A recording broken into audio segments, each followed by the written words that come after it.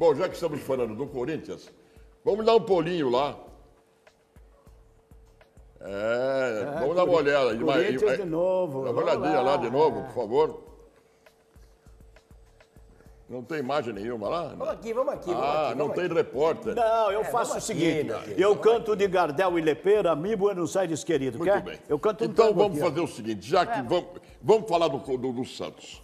O Santos tem um programa sobre o nosso glorioso Gabigol.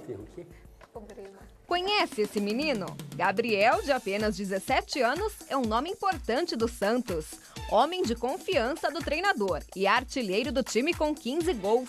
E ainda humilde. Santos não é um Gabriel e nunca vai ser o Gabriel. Tanto trabalho rendeu ao garoto uma convocação para a seleção sub-20 em agosto.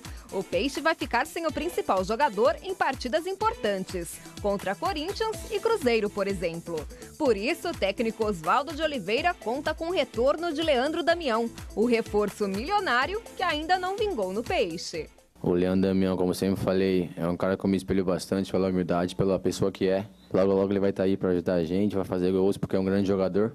Pois é, Damião vai ter que mostrar serviço ao substituir Gabriel, xodó da exigente torcida. Enquanto isso, o jovem santista da seleção sub-20 já sonha alto. Ouve aí, Dunga. Procuro trabalhar devagar. Eu acho que é, sempre estar procurando melhorar os meus as coisas que eu preciso melhorar, aperfeiçoar as coisas que eu sei.